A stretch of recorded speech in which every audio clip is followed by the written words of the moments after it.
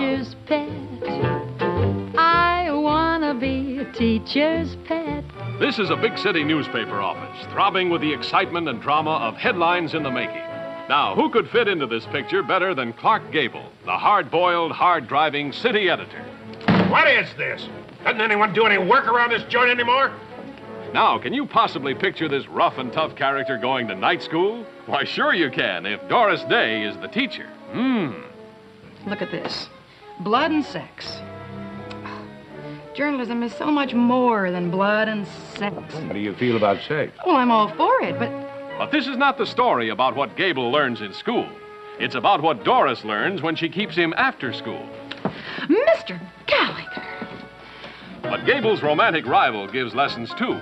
That debonair professor of psychology, Gig Young, doubling on the drums. Flaming Mamie Van Doren giving lessons in anatomy. Oh, I'm the girl who invented rock and roll. But Gable never thought this babe would learn so fast. Yes, I'm the girl who invented rock and roll. Yes, Gable really rocks when this gal starts rolling.